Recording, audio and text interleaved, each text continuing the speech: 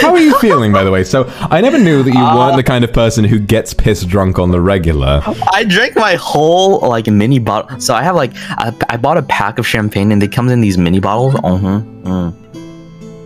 And I drank the entire mini bottle. I don't know how much alcohol that is, but um, I drank all of it.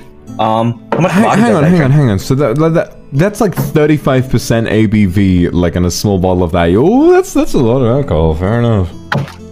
Oh, should I stop now? I should stop now, right? I mean, you don't need to. It depends on what your personal limit is. Like, if you're feeling superly, duperly, Oh, I am drunk. feeling like I'm on top of the world, baby. I'm feeling. I'm feeling great, man. Oh yeah, by the way, uh, I see people donating to me and my Twitch channel for this too. Thank you so much. Even though I'm not like streaming this, I appreciate people that are also like you know supporting me hmm. on, the like It's my end super too. That's so sweet, sweet. yeah. Dude, people are so sweet, man. The, the community's so sweet mm. sometimes like that. It's so it's it's, so it's difficult to get your head around how much that how much kindness can happen. But anyway, we are about ninety minutes into the show, and so I'd, what I'd like Oh, to let's do keep is going.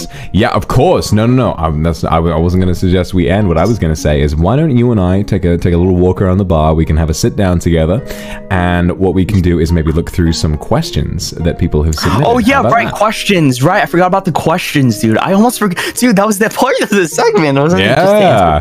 No, no. I like I like that. the intro where we had a little ramble. But anyway, let's go have a sit down.